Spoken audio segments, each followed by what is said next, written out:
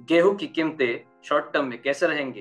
क्या कॉटन के भाव में ये नरमी टिकेगी? जानने के लिए देखिए हमारे खास कार्यक्रम ट्रेंड इन कम्युनिटीज इस शो में कम्युनिटी जगत के पाँच बड़ी खबरों के साथ साथ किसी एक कम्युनिटी के आउटलुक पर हम विस्तार से चर्चा करेंगे।